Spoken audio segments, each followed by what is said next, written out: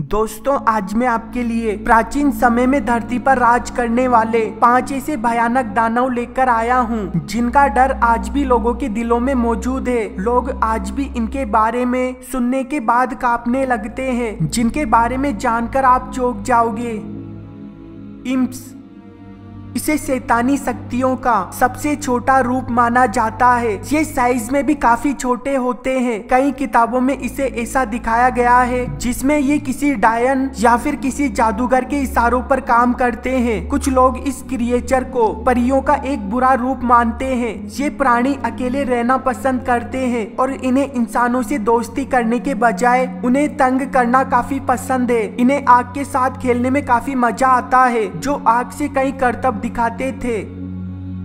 फेनरीर इस तिलस्मी भेड़िए को थोर मूवी में भी दिखाया गया है, जिसे नॉर्स मेथोलॉजी में एक विशाल भेड़िए के रूप में देखा जा सकता है। माना जाता था कि ये भेड़िया इतना ज़्यादा ताकतवर था, जिसने रेगना रोक युद्ध के दौरान नॉर्स के देवता ओडियन को मार डाला था। हालाँकि अपने पिता की मौत के बाद ओडिन के बेटे ने उस भेड़िए के जबड़े को तोड़कर दो हिस्से कर दिए थे। सोचो, अगर इतना विशाल भेड़िया आज भी धरती पर मौजूद होता तो दुनिया में कितनी तबाही मचाता।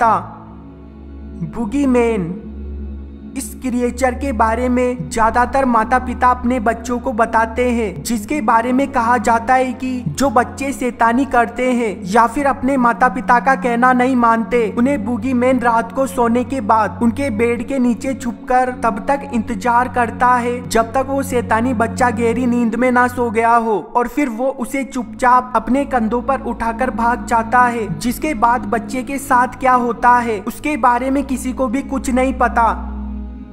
थंडरबर्ड। ये एक शक्तिशाली पक्षी हुआ करता था, जिन्हें अमेरिकन पौराणिक किताबों में मेजिकल पावर वाला प्राणी दिखाया गया है, जो जब भी आसमान में उड़ता, तूफ़ान पैदा कर देता था, जिसमें हमेशा बिजलियाँ चमकती रहती थी, जो काफ़ी ज़्यादा बड़ा होने की वजह से इंसानों का शिकार करता था। कहा यह भी जाता है कि ये मौसम को कंट्रोल कर सकता है। इसका शरीर इतना विशाल था कि ये वियल मछली को भी उठाकर ले जाता था।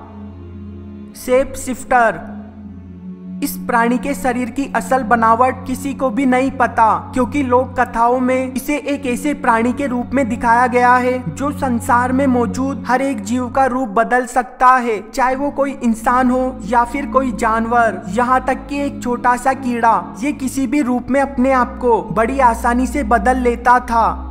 दोस्तों, मुझे इस वीडियो को बनाने में काफ़ी मेहनत लगी, पर आपको इसे लाइक करने में सिर्फ़ एक सेकंड लगेगा। इसीलिए वीडियो को ज़रूर लाइक कर दें और वीडियो के नीचे एक लाल बटन है, उस पर क्लिक कीजिए और सब्सक्राइब कीजिए। वीडियो देखने के लिए धन्यवाद। प्लीज़ सब्सक्राइब करना न भूलें।